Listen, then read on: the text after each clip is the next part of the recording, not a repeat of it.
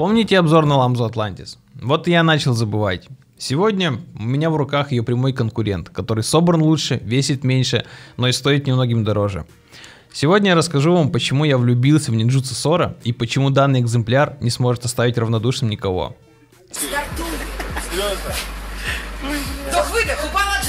Обнажу всю подноготную касательно стоимости данной мышки. На Али цена колеблется в районе 8100 рублей, но если вы уже подсчитали, через сколько обедов в столовке сможете себе ее позволить, уточню, что на данный момент возможность бесплатной доставки у китайцев отсутствует, поэтому придется накинуть еще 600 рублей сверху. Да, на официальном сайте Ninjutsu указана цена в 94 доллара, это примерно 7,5 тысяч, но в России их почтовый голубь не летает, а значит надо будет самому искать способ отправки, что есть само по себе не бесплатно и вообще лень. А на Озоне за грызуна просит больше 10 тысяч рублей. Так что за стандарт берем цену с Алика 8700. На момент выхода этого обзора мышь существует в четырех расцветках. Черный, белый и два лимитированных. Это розовый и красный. Где они нашли красный на картинке, никому не понятно. Обе же розовые. Поставляется в красивой, солидной и синей картонной коробке. Содержимое выезжает сбоку, где за полупрозрачной накладкой томится сама мышь и все ее приданное. Да, упаковка Атлантиса выглядит интереснее и свежее, но коробка Сора выполнена в сдержанном стиле без лишних деталей, а минимализм это всегда круто. Внутри коробчонка, помимо мыши, ароматнейшая форма из плотного пенопласта, шлейф амбре который переносит в палатку с оригинальными кроссовками на центральном рынке в начало десятых годов, когда ты стоишь на картонке в махровых носках и примеряешь одну пару за другой. А в это время твои родители на перебой накидывают аргументов, чтобы скинуть цену еще рублей на 200. Ах, детство. Так о чем это я? Под формой лежит коробочка со шнуром питания в мягкой оплетке, переходником для киберкотлет, инструкции на английском китайском и запасными тефлоновыми ножками. Однако не густо, особенно оглядываясь на комплект поставки Lamzo Atlantis. Но, как говорится в моей голове, ни единой комплектации сыт геймер на всяким параметрам девайса. Это были все неприятные новости к этому часу. А теперь настало время рассказать вам о том, почему я являюсь лютым ракообразным, каждый день с моментов первых тестов этой мышки зову пацанов пойти со мной в имку. Начну с формы. Пацаны, это прекрасно. Мне не довелось потестить Lamzo Atlantis, посему это моя первая мышь для комбинированного хвата. Про Atlantis речь я завел не случайно, ведь если сравнивать формы, невооруженным глазом различия заметить вряд ли получится.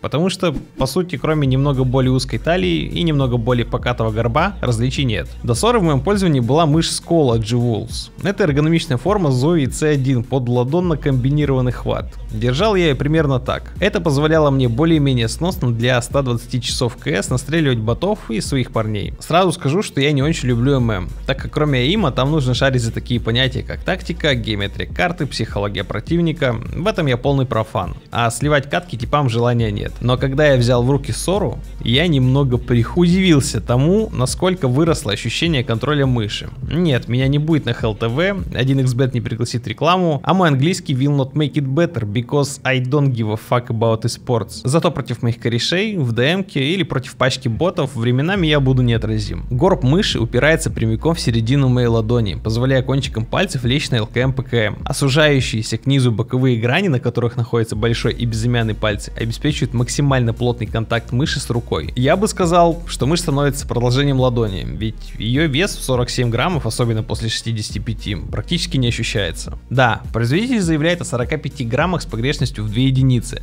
но не стоит забывать, что весь корпус мыши выполнен из цельного пластика, то есть ни сот, ни дырявого днища у этого аппарата нет. Это все к чему? К тому, что вес ламзу Атлантис с ее техническими отверстиями немногим больше 55 граммов. Хорошо, тут явный проигрыш в цифрах, но чем-то это обусловлено, чем-то ребята из Ninjutsu должны были пожертвовать ради веса. Прежде чем изучать внутренности мыши, стоит сказать, что пластик крайне приятен на ощупь. При сдавливании ни одна часть мыши не хрустит, не скрипит и вообще не издает никаких звуков. Спинку и дно продавить не получается вообще, а вот боковые грани немного подвижны при сильном нажатии, но это такой приятный и упругий ход материала. После разбора мыши многие моменты встают на свои места. Можно заметить, что верхняя часть корпуса, которая представляла собой несгибаемый кусок пластика в сборе, теперь напоминает обычную банковскую карту. Тем не менее, материал до сих пор выглядит и ощущается как качественный. Хорошо держать форму в собранном виде, ему помогают ребра жесткости и филигранно подогнанные крепления на донышке. Потихоньку начинают всплывать подробности вопиющей легкости данного девайса. Само донышко, кстати, испещрено ребрами жесткости, что и дает в конечном итоге всей конструкции такую монолитность. Облегченный пластик это еще не все. Если присмотреться, в верхней плате под боковые микрики мы видим вырезанные отверстия во всех местах, где это только возможно. Меньше материала, меньше вес. Это говорит нам о том, что продукт не является OEM. То есть эта мышь не очередная болванка с наклейкой логотипа компании, а собственная разработка нинджутсу. Во всяком случае считать иначе я не могу, потому что подобных мышей с таким весом я еще не встречал. Самое время разобраться с тем, почему же клики такие приятные. Спойлер, за эти ощущения отвечают далеко не только микрики. Но сперва все же о них. Хуану Black Shell Pink Dot на 80 миллионов нажатий. Короткий хода срабатывания, за счет чего на неделю использования я забыл про мисклики. И четкий бамп. В общем, стандарт качества. А после Дживул с ее амрончиками, так вообще сказка. Микрики классные, но вы только посмотрите, как реализовано их взаимодействие с панелями LKM PKM. Во-первых, вместе соприкосновения с толкателем у панели есть дополнительная накладка из твердого композита, внешне напоминающая стекло. Размещена там для того, чтобы убрать притревел. Во-вторых, с обратной стороны упоров для LKM PKM проклеены накладки из мягкого, плотного поролона. Они способствуют мягкому возвращению панели на место после нажатия. В-третьих, на самих микриках с ближней к толкателю стороны проклеены вставки из такого же поролона. Ну и в-четвертых, стоит отметить подгонку микриков под панели, ведь пост-тревел также минимальный. Подводя промежуточный итог, могу сказать, что сборка этой мыши на порядок лучше, чем у Lamzo Atlantis. Практически полное отсутствие пре, пост и сайт тревела могут говорить только о том, с каким вниманием разработчики подходили к созданию этой мыши. Пару слов о боковых микриках и энкодере. Это хуанчики с белым толкателем. Как я сказал ранее, жмутся и ощущаются они очень достойно. Сами кнопки расположены так, что случайно не нажмешь. Одним словом, прекрасная реализация. А вот у колесика есть один занимательный момент. Это полумиллиметровый ход влево-вправо между стойками. Люфтом назвать это не могу, так как при использовании мыши по назначению обнаружить этого не удастся. Предположу, что мы имеем дело с недоработкой, но опять же на эксплуатацию это никак не влияет. Само по себе колесо реализовано шикарно. За прокрутку отвечает белый энкодер TTC. Судя по всему, новинка. Отсечки максимально четкие, звук приятный и тихий, а люфта нет вообще. Стойки под энкодер это немного другое. Сердцем, кстати, выступает процессор Pixar PW3395. 650 IPS, 26000 DPI, кому столько вообще надо. Ускорение 50G. Та же топовая модель, что и в Атлантисе. Дикий, дерзкий, энергоэффективный, не срывает, не хандрит. Самые внимательные могли заметить, что мышь у нас беспроводная.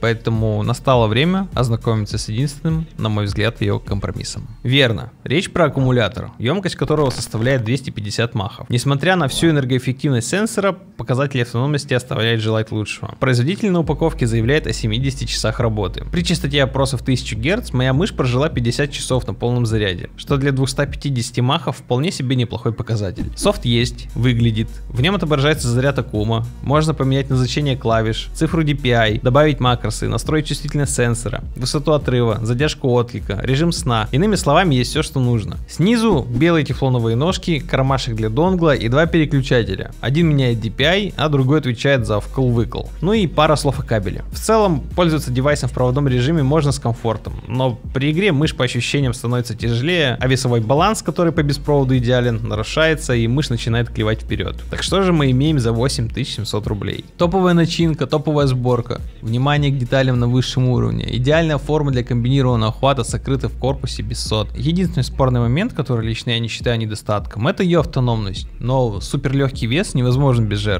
8700, конечно, дороговато, но когда итоговая цена на эту мышку опустится до 7500, то берите не пожалеете.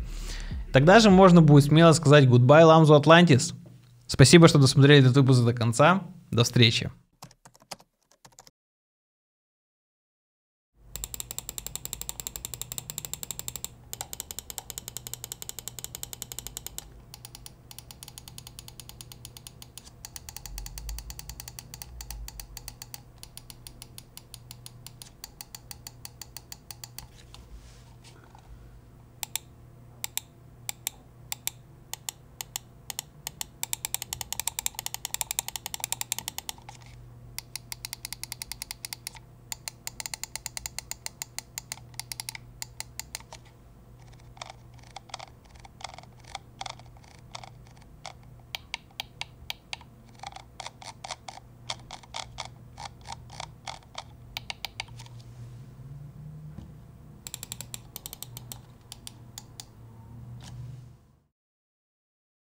Да никого, ни никого, никого, никого, нахуй, никого, кого, кво-кво-кво.